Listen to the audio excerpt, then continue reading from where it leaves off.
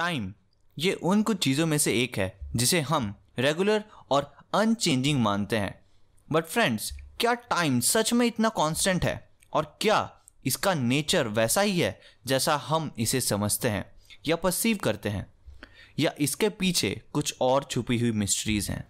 Hello friends मैं हूँ शुभम और ये है स्पेस इन्फानाइट पॉडकास्ट और आज के एपिसोड में हम समझने की कोशिश करेंगे कि आखिर टाइम का मतलब क्या है?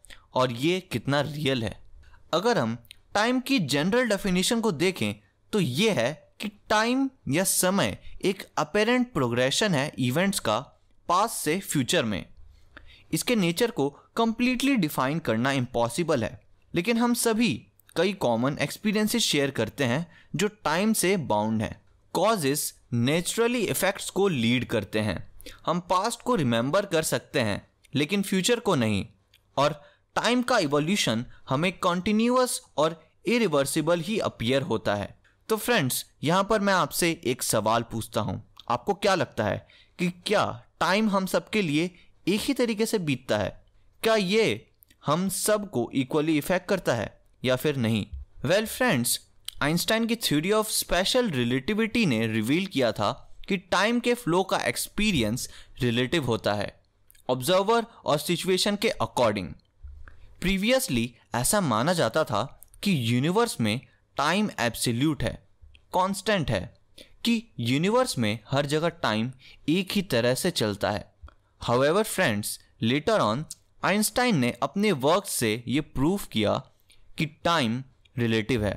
स्पेशल रिलेटिविटी के according moving clocks slowly run करती हैं एज कंपेयर टू एक नॉन मूविंग क्लॉक इसका सिंपल इंटरप्रिटेशन ये है कि हम स्पेस में जितनी ज़्यादा स्पीड से मूव करेंगे टाइम में हम उतना ही स्लोली आगे मूव करेंगे।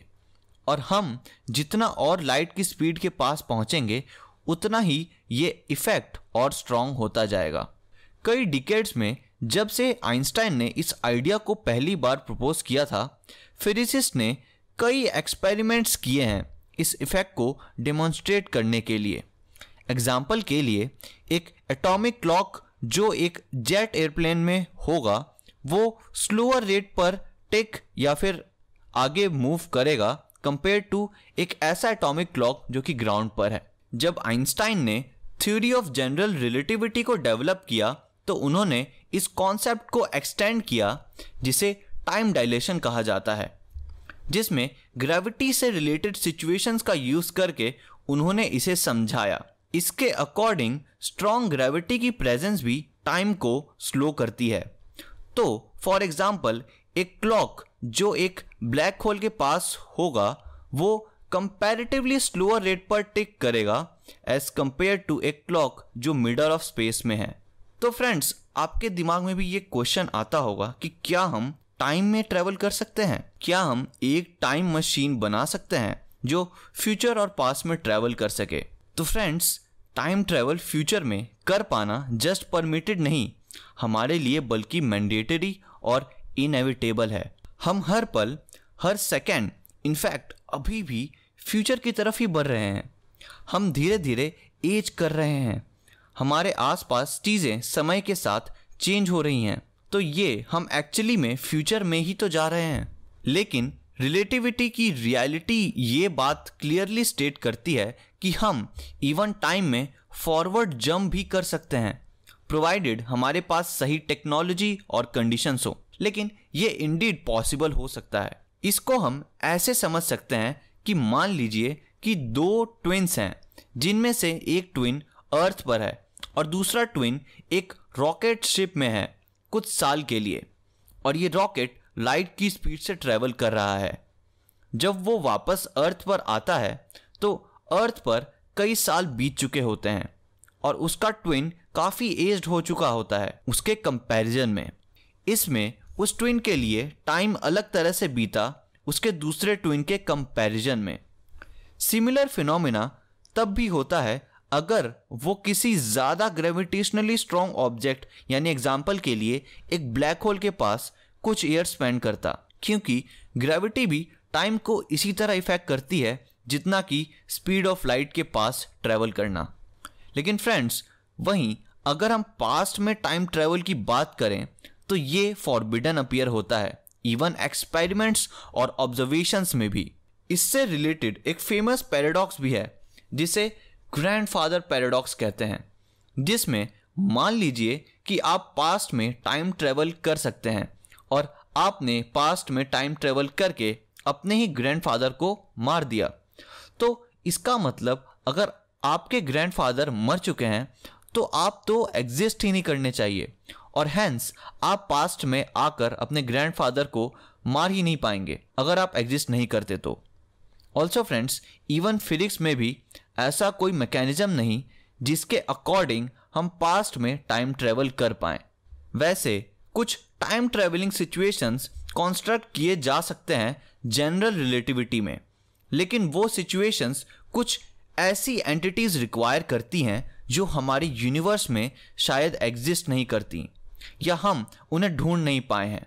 जैसे कि ऐसा मैटर जिसका मास नेगेटिव हो, या एक infinitely long cylinder however physicist even अभी भी पूरी तरह ये नहीं समझ पाए हैं कि पास्ट में टाइम ट्रेवल कर पाना फॉरबिडन क्यों है। ऑलमोस्ट सारे लॉज और इक्वेशंस जो फिजिसिस्ट यूज़ करते हैं नेचुरल वर्ल्ड को समझने के लिए, वो सिमेट्रिकल हैं टाइम में। इसका मतलब कि ये इवेंट्स रिवर्स किए जा सकते हैं बिना रिज़ल्ट को चेंज किए। एग्ज़ाम्पल के लिए, अगर आप एक वीडियो देखते हैं, एक बॉल की बाउंस होने की लगातार, बिना कोई और कॉन्टेक्स्ट के तो आप ये नहीं बता सकते कि वीडियो फॉरवर्ड प्ले हो रही है या रिवर्स प्ले हो रही है। हाउएवर फिजिक्स में एक एस्पेक्ट है जो फ्लो ऑफ़ टाइम के साथ चलता है, जिसे कहते हैं एंट्रोपी एंट्रोपी का मतलब होता है एक सिस्टम में डिसऑर्डरनेस का मेज़रमेंट फ्रेंड्स थर्मोडाइनेमिक्स के सेकेंड लॉ के अकॉर्डिंग एंट्रोपी हमेशा इंक्रीज होती है एक क्लोज सिस्टम में, और इस इवोल्यूशन को रिवर्स नहीं किया जा सकता। फिजिसिस्ट नहीं जानते कि क्या एंट्रोपी की ग्रोथ ही फ्लो ऑफ़ टाइम को फॉर्म करती है यूनिवर्स में, या फिर ये बस एक कोइंसिडेंस है? फ्रेंड्स क्या आपने सोचा है कि क्या टाइम कंटिन्यूस है या डिस्क्रीट है? यानी छोटे चंक्स से बना हुआ है, यानी किसी फंडामेंटल यूनिट से। ऑलमोस्ट सारी फ़िज़िकल थ्योरीज टाइम को एक कॉन्टिन्यूम जैसे ट्रीट करती है, और हम भी इस फ्लो ऑफ़ टाइम को ऐसे ही परसीव करते हैं। सारे इवेंट्स यूनिवर्स में स्मूथली फ्लो करते हैं बिना किसी इंटरप्शन के। लेकिन फ्रेंड्स एक थ्योरी क्वांटम ग्रेविटी की, जिसे लूप क्वांटम ग्रेविटी कहते हैं हाइपोथेसाइज करती है एक स्मॉलेस्ट पॉसिबल यूनिट का स्पेस टाइम के। ये यूनिट रिप्रेजेंट करती है स्मॉलेस्ट पॉसिबल एक्सटेंशन स्पेस और टाइम ड्यूरेशन का। इस थ्योरी में हम जिस स्मूथ कंटिन्यूस टाइम को परसीव करते हैं, वो एक स्टटरिंग स्टॉप मोशन प्रोग्रेशन जैसा बन जाता है पास से फ्यूचर में।